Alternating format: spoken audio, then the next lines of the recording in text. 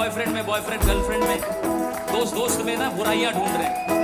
लेकिन साला कोई अपने अंदर नहीं झाँक रहा है कबीर साहब ने बहुत अच्छा दुआ कहा है, अपने आप को समझना, अपने आप को जानना। क्या कहा है?